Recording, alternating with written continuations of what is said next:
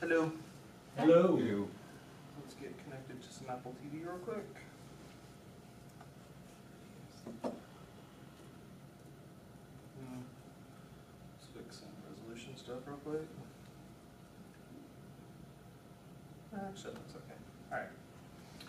So, um, we're gonna talk a little bit about Beaver Builder. Uh, Beaver Builder, for me, makes me look like I'm a genius when it comes to design stuff. You are a genius. Um, but I'm not. so what I do is I take I work at a church and I take all of our designs from people that essentially use Photoshop and Illustrator, and they take that stuff and send it over to me, and then they go, okay, make that show up on the website. And so I have to figure out how to get that to show up on the website, look like that. So there's a bunch of tools to do that, but we won't really get into any of those things. What I'm going to show you is kind of like how to take the scaffolding, the pieces that are going to make your site work and you know be built up, and take those things and have them uh, show up on the site. Earlier, you were asking how much things cost. So um, Beaver Builder is uh, 99 bucks out, out the gate, then 199, and then 399. Um, I asked the people over at Beaver Builder for a discount, and so we got a 10% off discount. I don't work for them or anything like that. I just you, you ask developers for discounts, and they may give you a discount. So there you go. You go to uh, beaverbuilder.com/slash OCWP, and you get 10% off. Yeah. And I'll show that at the end if you guys are like, ooh, I still want to get that. All right, so Beaver Builder. Um, Beaver Builder kind of has like its own um, its own following now. Like it's getting to the point now where there's just a lot of people that are getting involved in this thing and really want to use it. And um, I enjoy it just because there's a community that's involved in it instead of you just you know buying the software and then not actually getting any support or getting support only from the people that work there and not from your peers or anything like that. So that's why that's why I like Beaver Builder. Um, that and it functions really well and looks great. So I'll show you guys that right now. So I'm running desktop server. I'm going to log in real quick to a local install. All right. So Beaver Builder, there's you can pretty much use Beaver Builder on any. Um, clean up a little bit here. You can pretty much use Beaver Builder on any uh, uh, any website you want that's running WordPress, and you could also run um, Beaver Builder's um, own theme and child theme if you like.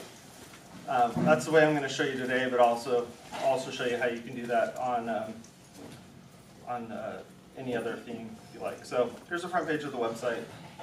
Super duper basic. There's nothing going on there. And Beaver Builder lets you manipulate the um, both the, the pages as well as the posts, but out, um, out of the box it only does posts. So if we go over to the, um, I'm not going to show you how to install a plugin or anything like that. I think you guys kind of figured out how to do that part of it. And if not, their website totally explains that. What you'll end up with is uh, down here on the bottom under settings, you'll have a page builder link to go to. And once you go in there, you can see uh, the, um, the various ways that you can go into setting up Beaver Builder. So you install your license key. Here's all the different modules that are involved in it, and we'll kind of go through a bunch of those. Um, you have templates, the post types, which like I was saying, pages is the one that is, um, is kind of built in. Uh, if you turn on posts, then you'll have access to making changes to posts. Um, it includes uh, Font Awesome, Foundation icons, and uh, WP uh, dash icons, and so on and so forth. It has its own caching built in, so if you ever have any weird issues, you come in here and just blow out the cache, and it should clean up. I run um, sites both on Pagely as well as uh, WP Engine, and I've never had to push this button. So if you absolutely have to, that's where you do it. So let's go into um, how to kind of start using it.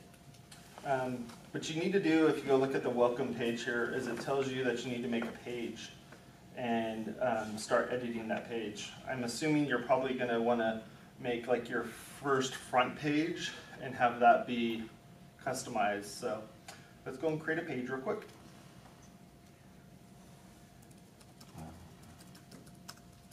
And you'll notice that right here, they added a new tab called uh, Page Builder.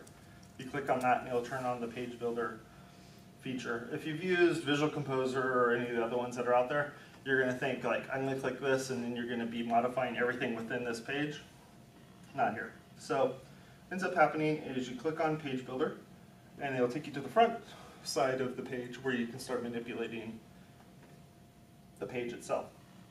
Since this is my first time loading up the page, or loading up uh, Beaver Builder, it's asking me what template do I want to use.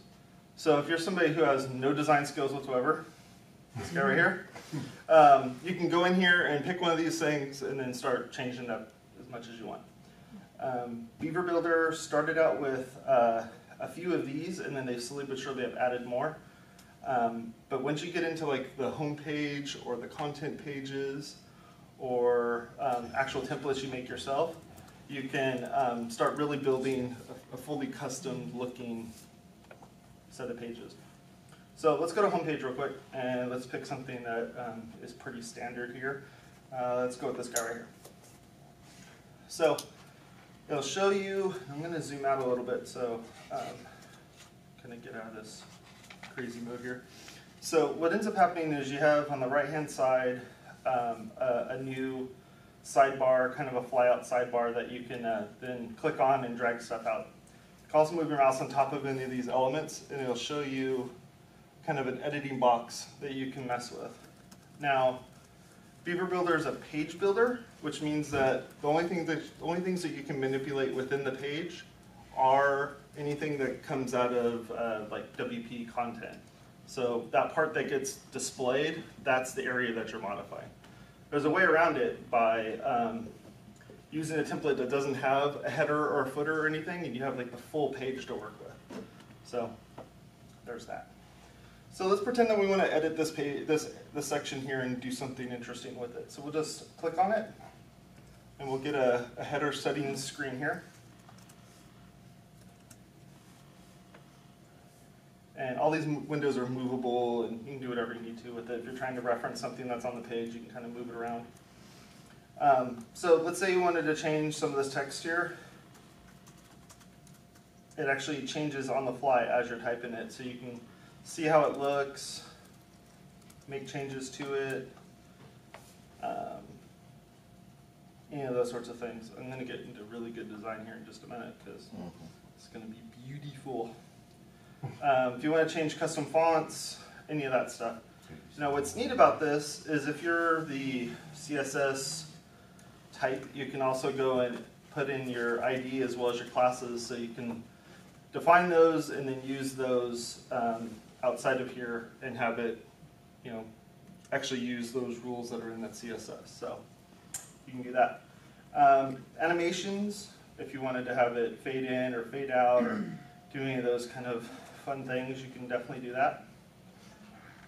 And uh, any of the margins, you can do this stuff all from within here. So you're not doing this stuff outside in CSS. You can just do it here and manipulate just that one specific area. So we've gone through kind of general and then style and then advanced. Um, Beaver Builder gives you the kind of the ability to make changes to the um, responsive layout so if you wanted to, you could have it so that this particular set of text here will only be displayed on small devices or on medium devices or large or whatever. So you can kind of customize the way it's going to look and hide things that just aren't necessary on mobile if you don't want them to be displayed. Um, so with this, that's just manipulating that one particular section. Now if you wanted to, you could actually save this section as a template. And this becomes kind of a little module that you can then grab and drag out. So you could build out a whole, say like a, a pricing list or something, drag that in, make the changes to that pricing list, and then drag in another one and make another set of those without having to rebuild the entire section. So the way you would do that is, say like this whole header right here that consists of this text, as well as a graphic and all these things. If you go up here and click on the this row uh, settings area here, go down to save as. We can call this header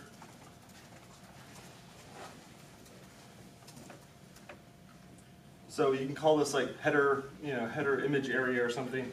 Then you can define whether or not this is going to be used globally or just on this particular page. If you say globally, it'll be used, made available on any page that's there, where the non-global would just be for this particular page. So we'll hit save, and it'll say that I've saved the template.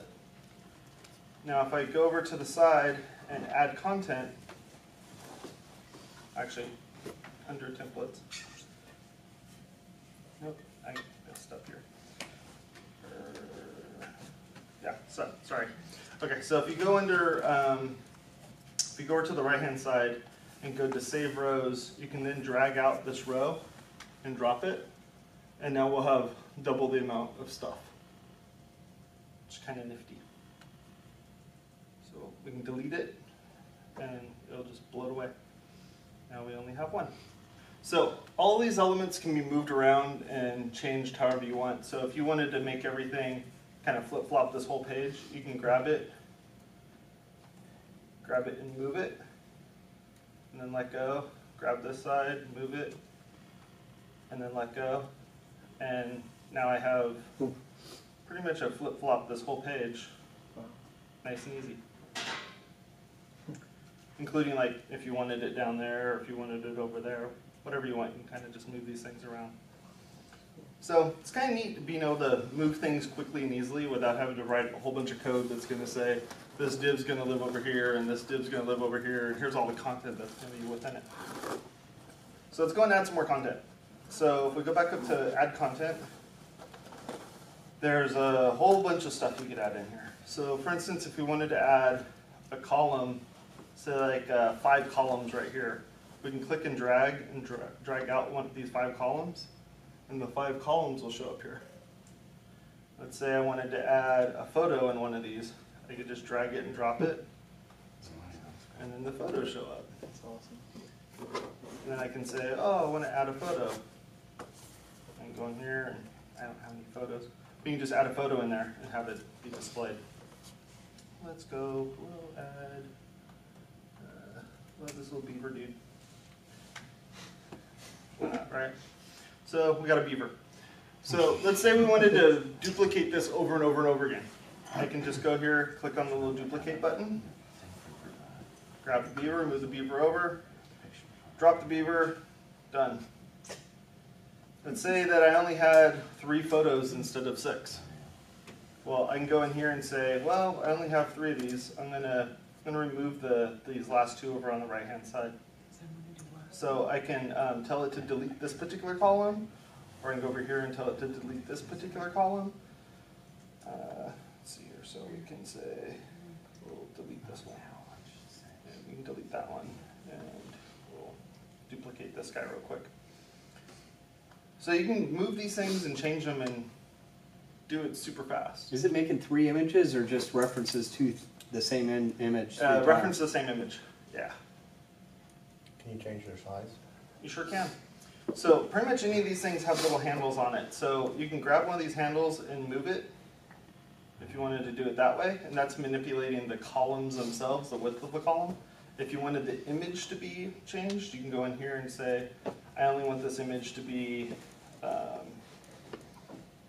well, was kind of a, well, I guess you can do it if you had, yeah, you can do it this way by using the image selector and picking which, which size image. So if you already had one defined, you can do that. So you can see how this one's a little bit smaller than that one. So yeah, that's how you kind of move those things around and manipulate that. Um, what else is neat is you can drag in um, you can drag in widgets. So if you have a, a widget that you use a lot, you can actually go and grab a WordPress widget. Let's say you wanted to show the calendar, which is a very popular one, right? And we'll go ahead and add the calendar in here. Now the calendar widget shows up. All I did was just drag and drop. So I just pick one of these and say, I want to display the archives of the website.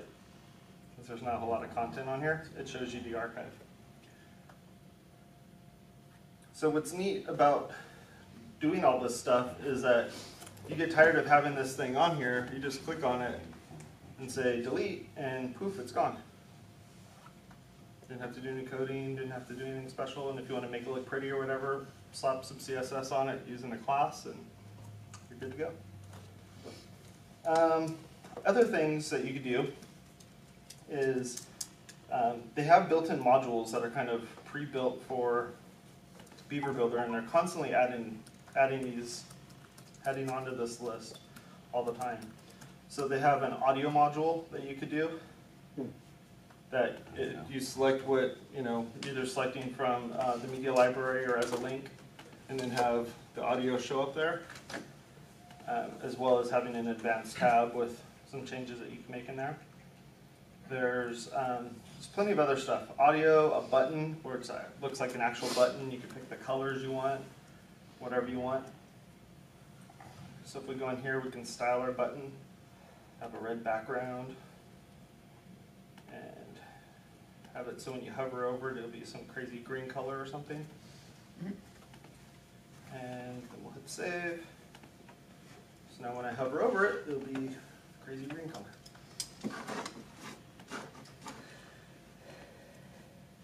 So there's those things. Um, if you wanted to uh, add a video in here, you could you know, just drag one of these videos out here, select the video file format that you wanted, and do it that way. Or you can put an embed code, and it'll put the embed code in there, and it'll do that too.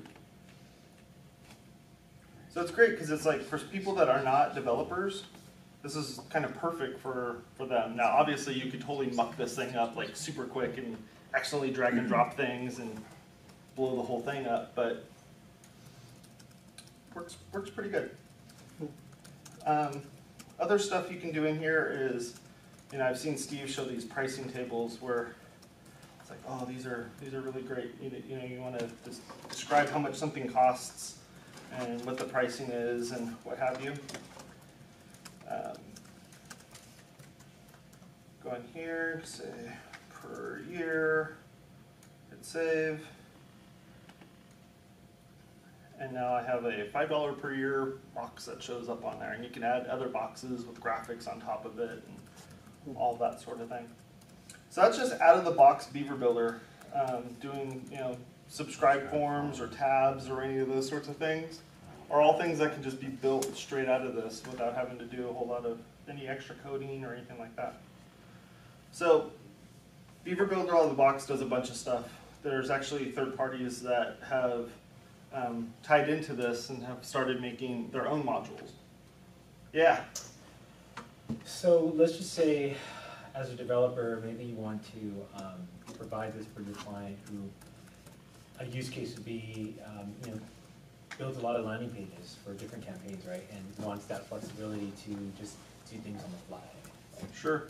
Um, Will Beaver Builder absorb a lot of the global styles, like um, button colors, typography, um, things like that? Yeah, Okay.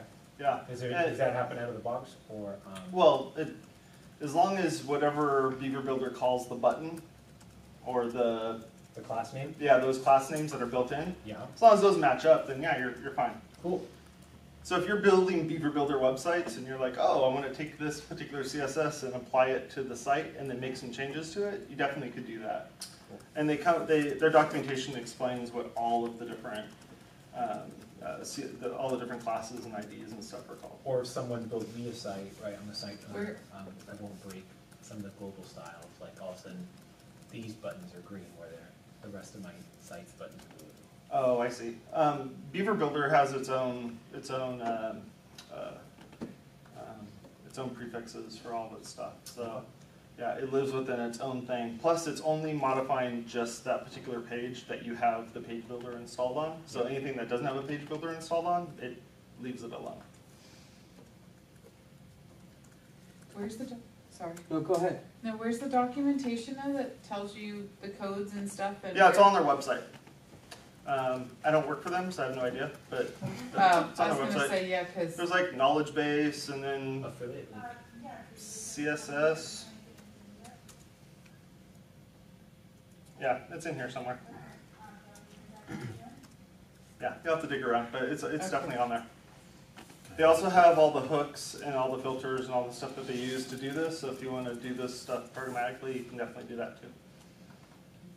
So their knowledge base is ridiculously awesome, as well as their support center, which is where everybody goes in there and asks questions and looks for help and shares their knowledge and stuff, so it's really good. Plus, they have a Facebook group, if you want to get involved in that, it's the exact same type of thing, where people are sharing information, or hey, I built this website, or how can I build this website using Beaver Builder? That's the way to do it. Um, let's see here.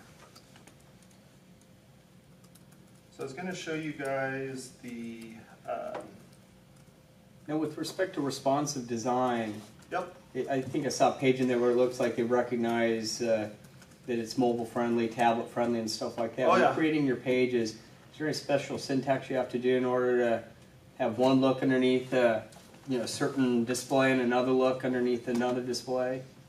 Yeah, so the way that they do it is by um, giving you the um, giving the giving you the ability to select down here. Oh, So down here at the bottom, it says responsive layout. How do you want this to? How do you want this particular element to be displayed?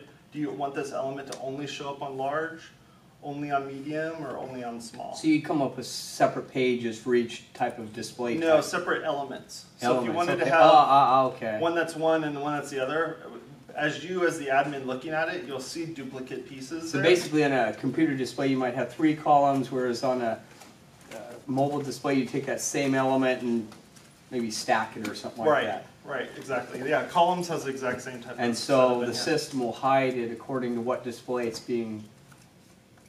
Okay, Yeah, that makes sense. including like if you had a graphic that's there and you wanted the graphic to be a more simple, uh, simple version of the graphic, or maybe it's not a horizontal graphic and you want a vertical one, or you want a square or something. You just have two different elements that live on the page. One's one and one's the other, and it displays it. I don't do a whole lot of that. Um, most of the stuff just kind of works out of the box. I haven't really had to make, make a whole lot of changes to get it to work exactly for mobile. Um, a lot of our elements that we do at our church is the very, you know, just like wide graphics, a couple blocks on top of it, more wide graphics, a couple blocks on top of it. And so all those stack nicely because we're thinking about it before we're building it. Makes sense.